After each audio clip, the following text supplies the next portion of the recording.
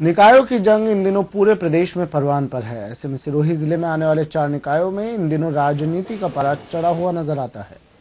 वहीं प्रदेश में होने वाले निकाय चुनाव के प्रभारी गुलाब चंद कटारिया सिरोही दौरे पर रहे और देर शाम वे सिरोही पहुँचे।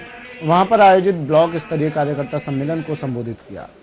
वहीं कटारिया के सिरोही पहुँचने पर भाजपा कार्यकर्ताओं ने प्रदेश प्रभारी का जमकर स्वागत किया। मौके पर सांसद देवजी पटेल, रानीवाड़ा विधायक नारायण सिंह देवल, सामाराम गरासिया, तारा भंडारी, जिलाध्यक्ष लुम्बाराम चौधरी सहित भारी संख्या में कार्यकर्ता मौजूद रहे। वहीं कटारिया ने मीडिया से मुखातिब होते हुए कहा, इस चुनाव में प्रत्येक कार्यकर्ता चुनाव लड़ सकता है, लेकिन पार्टी द्वारा जो मापदंड तैयार किए गए हैं, उन मापदंडों के आधार पर ही टिकट मिलेगा और जीतने वाले और उसी वार्ड के रहने वाले को प्राथमिकता दी जाएगी।